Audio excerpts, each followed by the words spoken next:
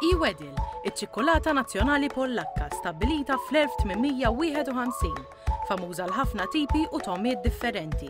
Provawa u għaraw li mtoma hija l-favorita tagħkom. Isibuwa fil-ħunet ewlenin f'Malta u Għawdex. Yeah,